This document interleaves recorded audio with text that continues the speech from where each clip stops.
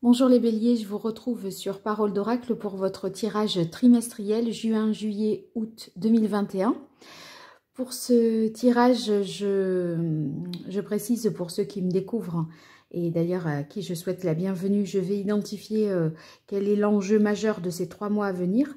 Donc euh, ça peut être euh, un domaine en, particulier, mais parfois c'est pas tellement identifié, donc c'est sentimental, professionnel, ça sera à vous de voir. En tout cas, cet enjeu, si vous voulez, c'est un petit peu euh, voilà, le défi majeur qui, qui, euh, arrive à vous. Et euh, on va identifier quels sont les, les atouts que vous avez dans cette situation. Et, ici, les difficultés auxquelles vous devrez faire face, ce que vous aurez à surmonter. Voilà, donc ensuite, bon, je vous expliquerai au fur et à mesure du, tirage. Je donnerai des conseils également en, lithothérapie pour, euh, euh, dans ces trois mois, euh, vous appuyer sur l'énergie des pierres. Alors, quel est l'enjeu que vous avez pour vous ces mois de juin, juillet, août 2021 Alors, on a la carte de l'ermite et la carte du 2 de bâton. Alors, vous voyez, l'ermite, c'est c'est le en numérologie, c'est il est euh, au numéro 9, il arrive juste avant la roue de fortune et il y arrive un petit peu comme ça euh, à reculons. Donc euh, il y a un changement majeur, inéluctable qui, qui arrive à vous. Je pense que vous en avez connaissance de ce changement qui, qui va survenir. Ça peut être par exemple la fin d'un contrat ou quelque chose qui arrive à échéance d'une manière générale. Ça peut être euh, une location ou euh, un bail, peu importe. Ou en tout cas, vous savez que c'est là, il y a quelque chose qui arrive à son terme ou en tout cas quelque chose qui va de nouveau qui va s'amorcer. Et du coup, dans ce temps-là, à mon avis, vous, vous, avez besoin de trouver finalement votre, votre vérité. L'ermite, fondamentalement, c'est ce qu'il cherche, sa vérité en fait. Hein.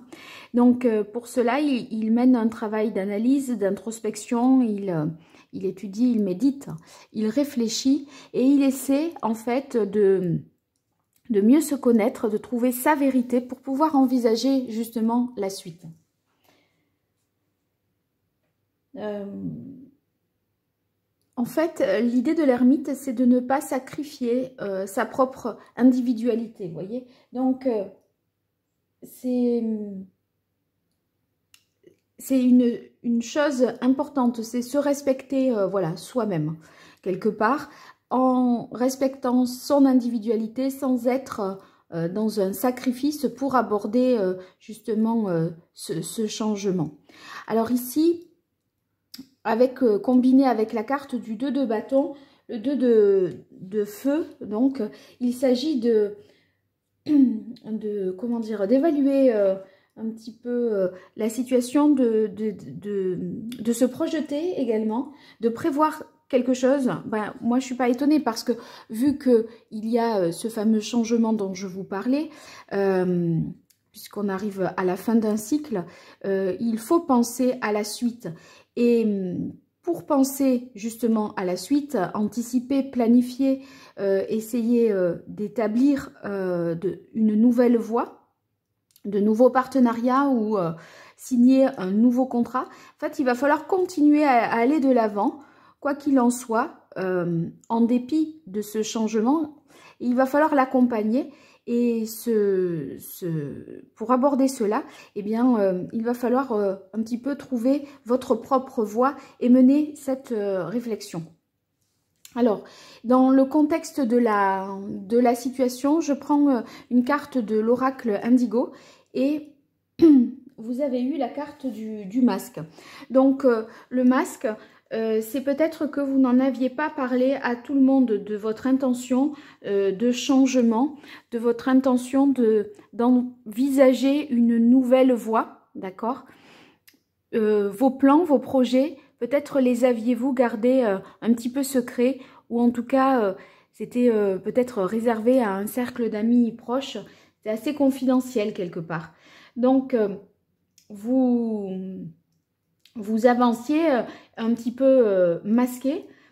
Donc, je pense que là, cette fin de cycle, ça veut dire voilà mes, vrais plans, voilà mes vrais projets, voilà quelles sont mes véritables intentions.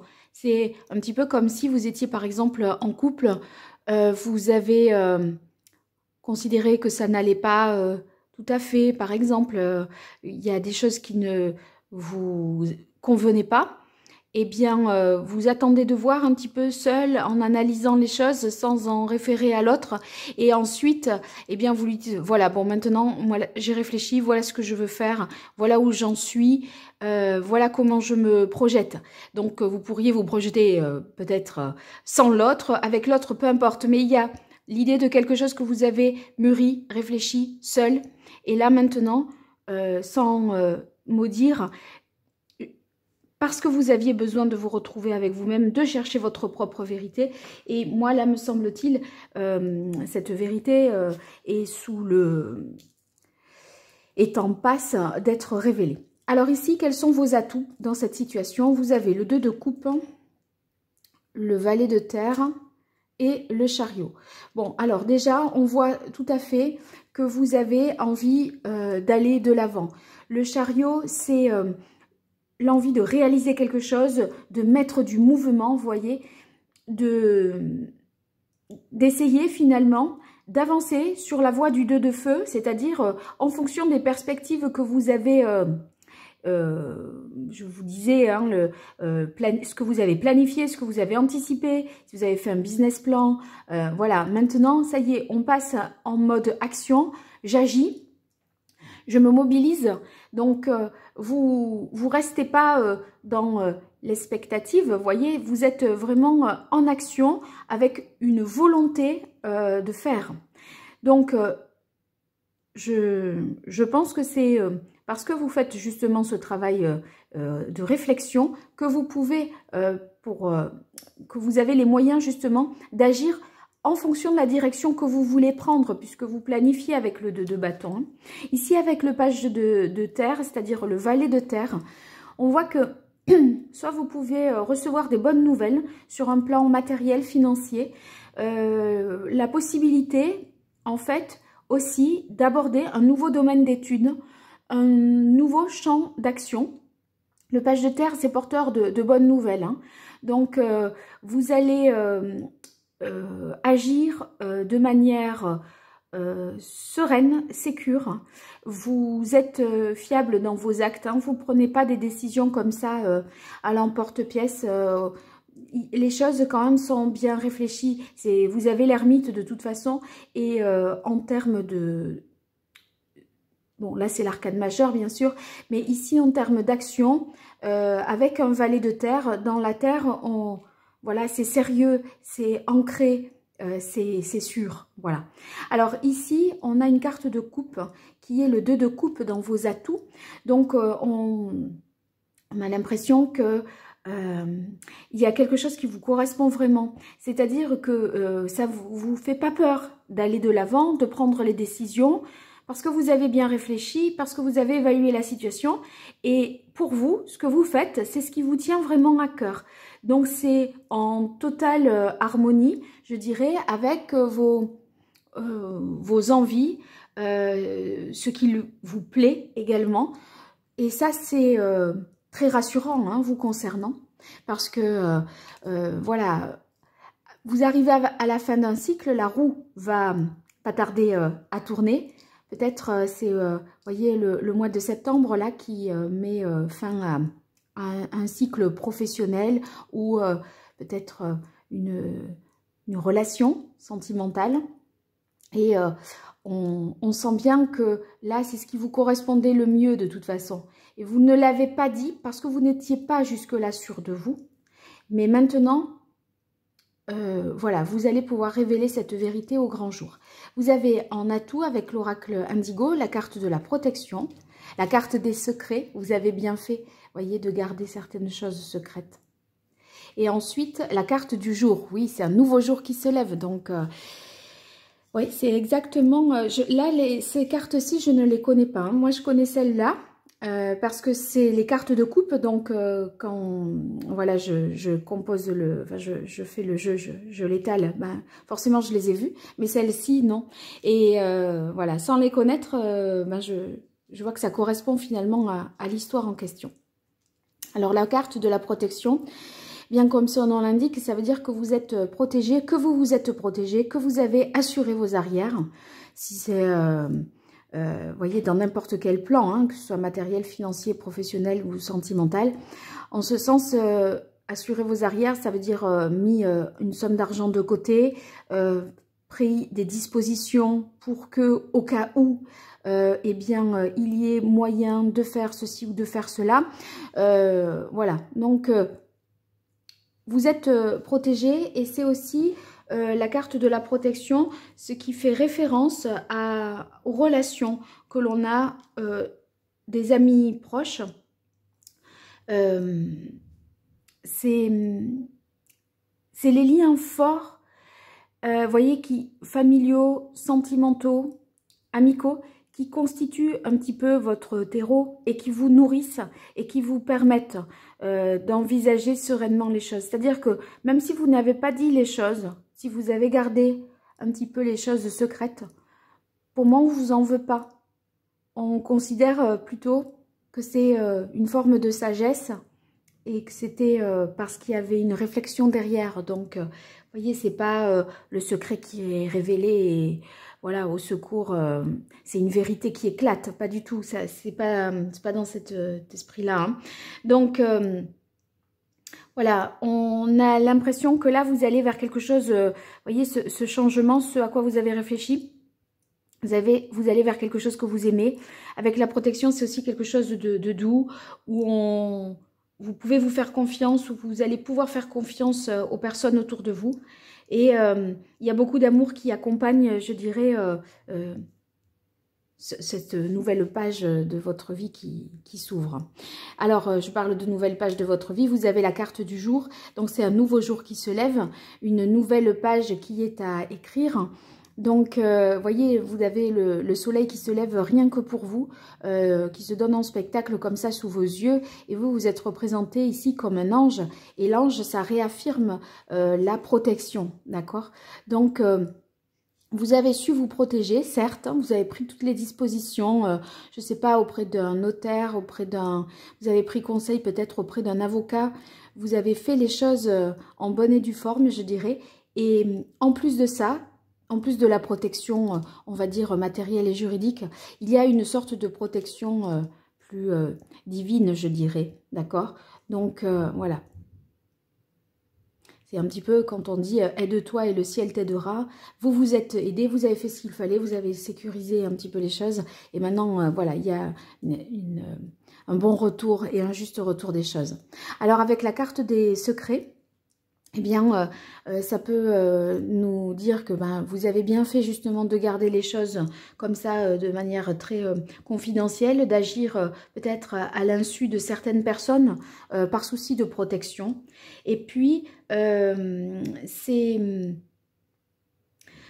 aussi une façon, avec la carte des secrets, de, de trouver, de retrouver une certaine intégrité. Parce que ce masque-là, peut-être euh, vous a-t-il pesé malgré tout, parce que c'est pas, c'est quelque chose que vous avez dû euh, euh, garder, voilà, pour vous. Et maintenant, il y a comme une espèce de soulagement à pouvoir avouer les choses, avouer par exemple une relation, hein, la mettre, voilà, la rendre officielle et connue de tous. Euh, vos intentions professionnelles, peut-être euh, vous, vous aviez l'idée de changer d'entreprise, vous avez fait des démarches comme ça en sous-marin euh, et puis enfin voilà en faisant comme si vous alliez continuer à rester dans l'entreprise d'accord vous voilà, si on vous parlait de choses dans six mois, vous, vous répondiez euh, par l'affirmative, mais bien sûr, euh, oui, euh, pas de problème et tout ça, alors que vous, dans votre idée, il y avait l'idée de, faire autre chose, au fond. Hein. D'accord? Donc, c'est quand même, c'était quand même peut-être un petit peu pesant. Ça vous a peut-être aussi déséquilibré quelque part. Et là, maintenant, c'est une forme de soulagement que de, voilà, que de dire cette vérité. Alors maintenant, quelles seraient les difficultés, les obstacles pour vous, les béliers? Alors euh, ici, euh, on a le, 3 de, terre qui vient en difficulté. Euh, donc, ben, je pense que c'est si vous étiez, par exemple, il y a une idée de communication et d'équipe hein, avec le 3. vous voyez, ça pourrait voilà, heurter certains à qui vous n'avez pas dit que vous allez quitter l'entreprise et avec qui vous travaillez. Et euh, voilà, ils pourraient euh, l'avoir un peu euh, difficile parce que ça, ça compromet un peu l'efficacité de leur travail. Et puis, voilà, c'est un peu... Pourquoi, pourquoi tu nous l'as pas dit, peut-être Voilà, bon, c'est cet esprit d'équipe. Vous n'avez peut-être pas été, voilà, très corporate quelque part parce que, voilà, il y a des choses que vous avez gardées. Et ça, ça pourrait venir en difficulté. Le fait que soit c'est le c'est la communauté le 3, donc c'est euh, l'équipe professionnelle, mais c'est aussi peut-être, euh, euh, voilà, le fait de ne pas avoir communiqué, ne serait-ce qu'à vos enfants, votre famille peut-être aussi. Hein. Ici, on a l'as de coupe qui vient en difficulté. Là, moi, j'y verrai... Ouais, émotionnellement, c'est un peu dur pour vous aussi, parce que c'est un nouveau départ. Euh, bon, bah euh, c'est un nouveau départ, il faut euh, l'assumer, d'accord? C'est de toute façon, vous y avez réfléchi, hein. vous n'allez pas le regretter, c'est pas la, pas la question, hein, parce que quand on a l'ermite et le 2 de feu, c'est pensé, c'est réfléchi, c'est voilà, c'est pas, décidé comme ça un matin en se levant, voilà, sans réflexion. Hein. Donc voilà, on se demande si il y aura assez de, potentiel pour euh, franchir le pas quelque part. Pourquoi On se demande s'il y a suffisamment de, potentiel pour euh, aller de l'avant et puis si on va vous demander quand même si ça va vraiment euh, marcher, si ça va vraiment vous plaire parce que c'est quelque chose que vous avez plutôt intellectualisé, pensé dans votre tête, mais que vous n'avez pas du tout encore mis en pratique, mis à l'épreuve voyez, euh, tester. Donc, euh, bon, ça, ça pourrait ça pourrait poser un petit peu voilà question pour vous. Surtout que avec la carte de la lune, on voit que tout n'est pas encore très clair. Hein.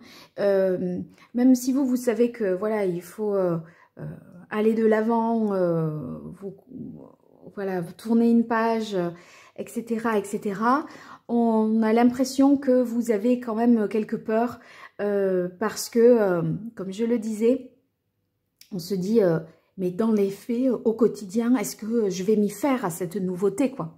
Donc, la lune, c'est les, peurs, hein, c'est la nuit, c'est ce qui est un petit peu obscur, qui pourrait justement vous empêcher de prendre un petit peu votre envol. Alors, Ici, on a euh, la carte des visions, la carte du choix et la carte du chakra or. Alors, avec la carte des visions, euh, ben, moi, je pense que c'est la, difficulté à se, projeter. en fait, c'est autant vous, vous, vous évaluez le cadre, vous évaluez la faisabilité du projet, de, de votre vie après euh, le changement, etc. Et ça, euh, c'est comme si vous, vous checkez, euh, bon, euh, au niveau du logement, ça c'est bon, au niveau de, de avec qui je suis, est-ce qu'on s'entend bien, c'est bon. Enfin, vous voyez, il y a, voilà, tout un tas de critères qui sont ici anticipés par vous et qui sont validés.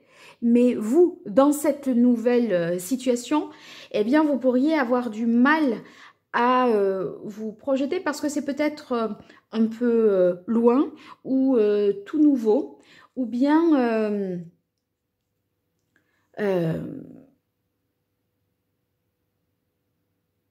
ou bien vous ne partagerez pas tout à fait la même vision que la personne avec laquelle vous êtes dans les difficultés, c'est-à-dire soit votre conjoint, si vous entamez voilà vous, vous, avez euh, réfléchi à changer d'emploi euh, et euh, pour pas pour pas l'inquiéter de, trop, vous avez voulu réfléchir par vous-même et à un moment, ben, vous tombez le masque et vous dites bon ben voilà, moi j'aimerais bien, euh, je sais pas, euh, déménager, partir à l'étranger, changer d'emploi, etc. Et, l'autre, euh, il n'est pas tout à fait aussi près que vous peut-être. Hein.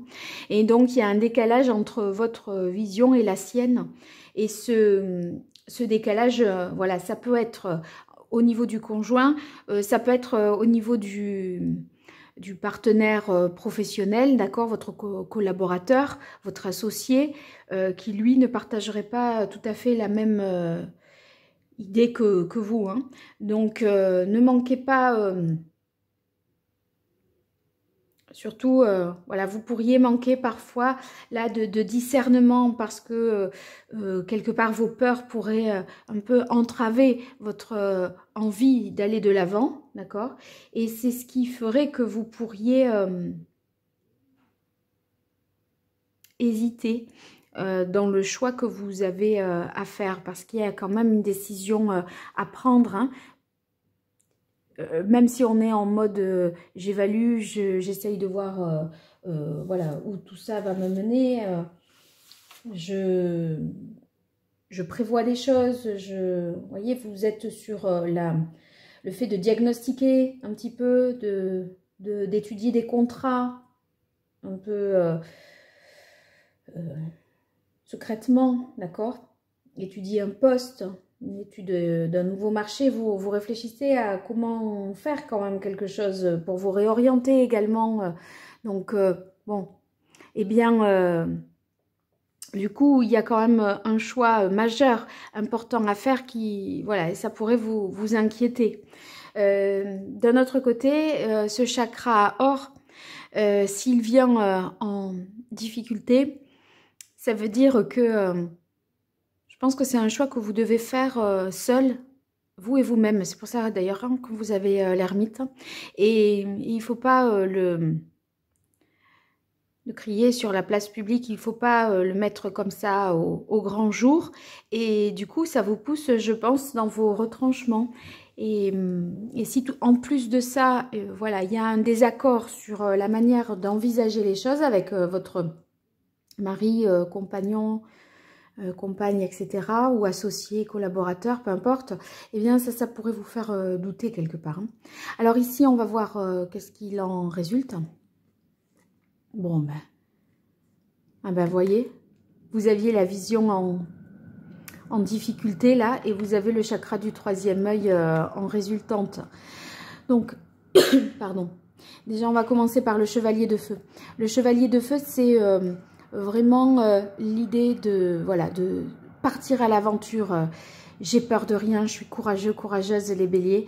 Euh, j'y vais avec passion. Hein. Je vous rappelle que vous aviez le 2 de coupe, c'est quelque chose qui vous plaît vraiment et qui vous donne envie de foncer. C'est pas étonnant, hein. vous, vous, êtes des béliers, donc vous voyez, il, y a l'idée d'avancer, d'accord le, bélier recule peu, vous avez beaucoup réfléchi, donc euh, maintenant, euh, voilà, c'est comme si la route était un petit peu tracée. Donc, euh, vous avez réfléchi attentivement, je pense, et, maintenant, vous allez, ce qu'il en résulte, c'est que vous allez partir à l'aventure avec confiance et passion. Et vous, aurez réussi ce travail qui consistait pour vous à vous projeter dans cette nouveauté, euh, nouveauté que vous avez pensée, mais qui va être euh, davantage, euh, je pense, effective au terme de cette saison de l'été, puisque là, le tirage juin, juillet, août. Voilà, donc ce chakra du troisième œil vous dit voilà, que vous aurez une meilleure capacité à vous projeter et davantage d'intuition également. La lune, vous voyez, vous l'aviez en contre. La lune, c'est aussi l'intuition, et là, maintenant, voilà, c'est ce qui domine, euh, c'est ce qu'il en résulte. Donc, euh, vous allez pouvoir ressentir un peu plus les choses, même si vous avez euh, validé tout un tas de critères. là, vous allez les ressentir parce que vous allez plus vous approprier tout ça. Et ça, ça va vous rassurer vraiment. Avec la lune, je ne l'ai pas dit, euh, tout à l'heure, mais ce serait également euh, le fait que vous pourriez être d'humeur euh, changeante et cyclique. Et hum, c'est pour ça que parfois le choix pourrait être difficile à faire parce qu'on dirait que vous pourriez un jour penser quelque chose et un jour penser autre chose. Mais comme vous avez la carte de l'ermite et que l'ermite, il s'isole, il se met en retrait du monde pour vraiment se recentrer sur lui et trouver sa vérité, je pense que vous voyez, euh, vous êtes plutôt dans l'idée de, visualiser certaines situations et de vous faire peur à penser certaines choses pour vérifier que vous êtes bien OK avec ce que vous voulez faire.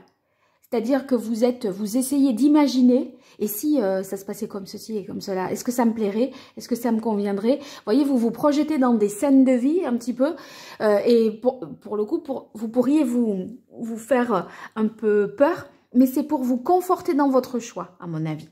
Voilà.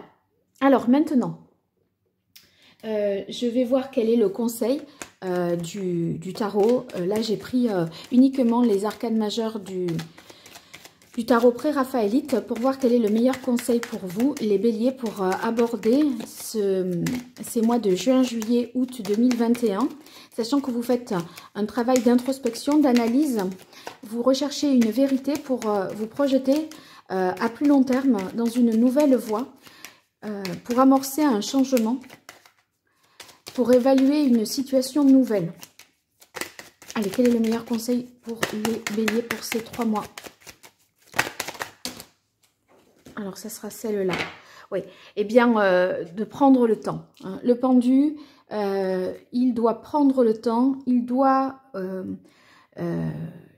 on vous dit le conseil ici, euh, vraiment euh, dépouillez-vous du superflu. Euh, distinguez vraiment l'essentiel de, l'accessoire.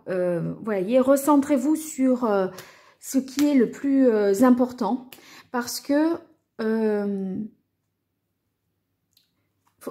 il ne faut pas se laisser euh, par euh, des choses qui pourraient euh, paraître. D'accord? Il faut ressentir les choses au fond de son cœur, de soi, et pas, voyez, ce qui socialement pourrait faire le être du plus bel effet quelque part. Hein. Voilà. Donc, n'ayez pas peur non plus avec cette carte du pendu le conseil, c'est n'ayez pas peur de faire quelques sacrifices, de faire quelques concessions, ça en vaut euh, la peine. Hein. voilà. Peut-être que même si euh, vous avez euh, le soutien de votre famille, de vos amis, vous avez sécurisé vos actifs, votre patrimoine et tout ça, eh bien, voilà, il ne faut pas hum, avoir peur malgré tout ça, d'être un petit peu dans le sacrifice. Sacrifier, ça peut être son temps, hein, c'est aussi ça. voilà, donc ça, n'hésitez pas. Alors, un conseil de l'oracle d'Île-de-Garde. Alors, vous avez la carte 8 euh, qui signifie « En cultivant mon équilibre émotionnel, j'exprime un comportement juste. » Bon, c'est fort, hein, parce que, vous voyez, je, viens de dire, euh, l'ermite, il cherche sa vérité. Et vous, là, vous viviez une situation qui n'était pas la vérité, la vôtre de vérité, d'accord?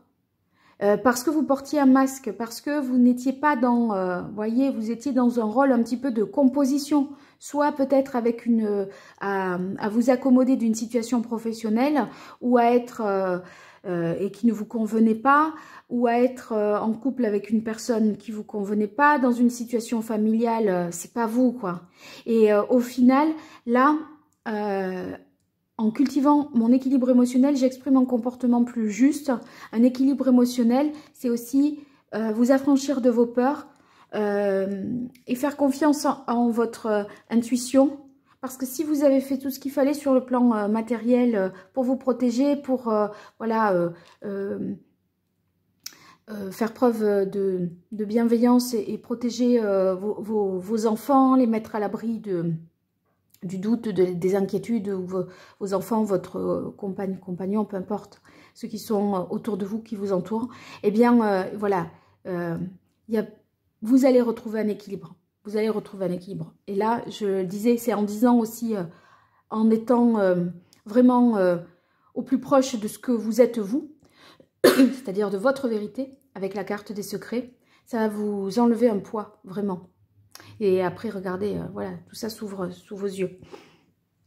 Alors, je vais euh, voir euh, quelle est la pierre que je pourrais vous conseiller. Pardon, je perds un peu la voix par rapport à, la carte 8 de l'oracle d'île de Garde. mais attendez, je vais tirer quand même une carte. Je fais ça d'habitude, j'y pense plus là. une carte de l'oracle d'île de Garde. Non, mais c'est pas ça, c'est tout à l'heure. Attendez, je perds le... Vous, êtes mon premier tirage euh, trimestriel, là, les béliers. Et du coup, je perds mes... Le, sens de mon tirage, enfin, les habitudes, on va dire. Alors là, j'isole tous les chakras. Chose que je n'avais pas faite euh, finalement pour votre tirage. J'isole tous les chakras du, de l'oracle indigo. Et on va voir quel est le chakra que vous auriez éventuellement à rééquilibrer euh, pour euh, aborder cette nouvelle phase.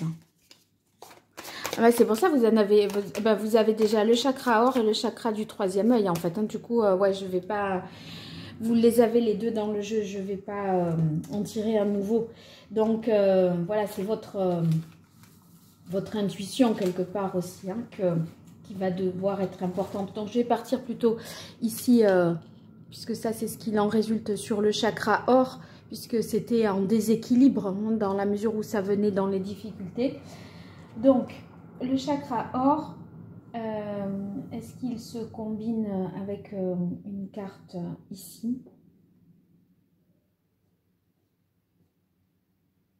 moi, je vous conseillerais de porter euh, bon, euh, une pierre de couleur euh, jaune comme la citrine, topaz impériale ou des bijoux en or, hein, d'accord Et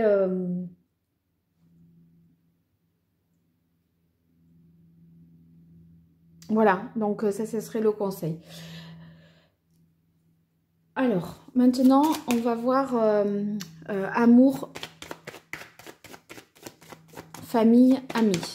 Alors, trois cartes pour euh, vous les béliers pour euh, ces mois de juin, juillet, août 2021.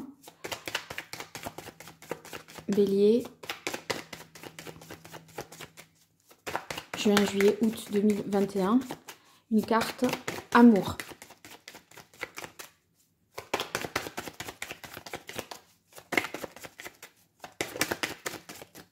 Celle-là.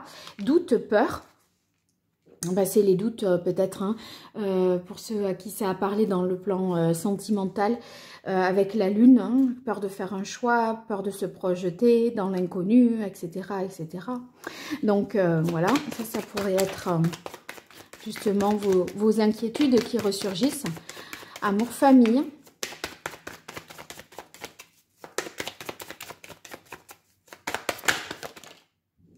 Alors, je prends les deux. Euh, unité, évolution, progression. Moi, l'unité, je vois que, euh, voilà, euh, la décision qui, que vous prenez là, cette fin de cycle, pour moi, elle convient bien sur le plan familial parce qu'on retrouve l'harmonie. et je vois toujours avec la carte de l'unité le fait de se réunir voyez, euh, si on était séparés, eh bien, euh, voilà, on retrouve, euh, je sais pas moi, on retrouve ses, enfants, on retrouve le, mode, le mode de garde qu'on avait tant espéré, etc. Et voyez, il y a une évolution positive. les liens sont plus approfondis. voilà, donc c'est très, c'est très positif. Et amis maintenant, pour les béliers.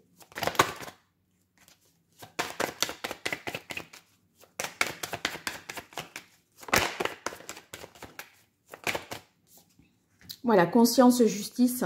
Eh bien, euh, pour moi, la, conscience euh, justice, c'est euh, justement, hein, je parlais de protection ici dans le cercle amical, relationnel. Et je pense que vous êtes accompagné dans cette nouvelle voie et vos amis sont là pour justement vous aider à retrouver cet équilibre dont on parlait et voyez, comprennent que vous ayez souhaité garder les choses un petit peu sous silence un certain temps pour mieux les mûrir, réfléchir, etc. Et donc, voilà. Euh, vous avez conscience, je pense, d'être bien entouré et euh, vous trouvez un équilibre euh, auprès de vos, de vos proches, je dirais. Voilà les béliers, j'espère que ce tirage vous aura plu. si vous souhaitez voir d'autres vidéos, n'hésitez pas à aller voir dans les playlists ou en dessous de cette vidéo. Je mettrai en lien les vidéos qui sont d'actualité. Par ailleurs, si vous souhaitez une consultation privée, vous m'écrivez à l'adresse parole d'oracle.gmail.com et je vous donnerai toutes les modalités. À très bientôt et merci pour votre écoute. Au revoir.